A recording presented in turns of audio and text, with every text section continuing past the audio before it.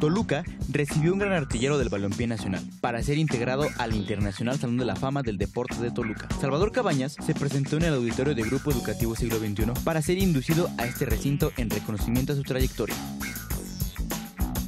Es por ello que el equipo de Noti21, sistema informativo de la institución, realizó una entrevista a Salvador Cabañas, quien compartió algunas anécdotas sobre su carrera, además de un agradecimiento y felicitación por tener como sede a nuestra institución.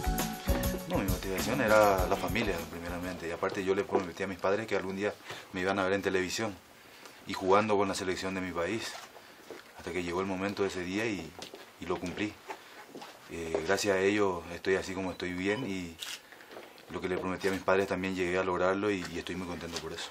No, el apoyo que yo le daría es 100%, siempre le digo a los jóvenes que practiquen un deporte y que sigan adelante.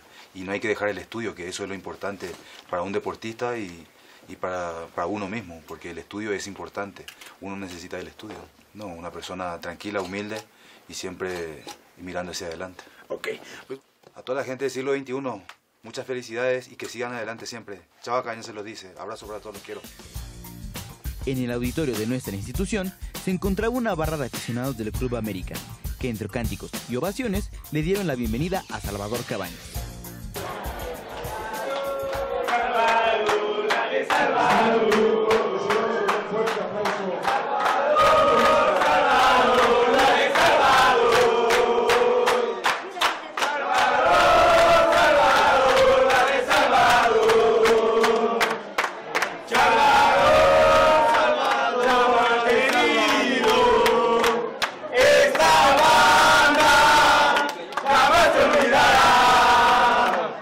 La